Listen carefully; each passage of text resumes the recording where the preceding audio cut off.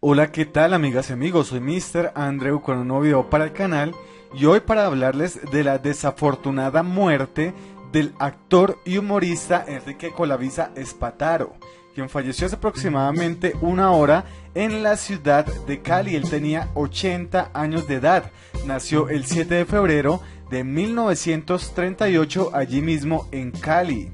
Él, bueno, era de ascendencia italiana, con trayectoria en los medios de más de 40 años.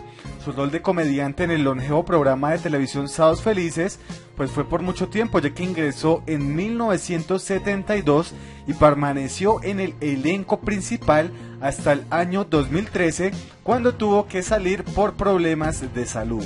Esta noticia fue dada y confirmada por Noticias Caracol y bueno, este conocido como el Caballero de la Sonrisa deleitó a Colombia y Latinoamérica por más de 37 años, imagínense todo eso, incluso fue presentador de Sábados Felices por 8 meses hasta que J. Mario Valencia pues llegó a este puesto.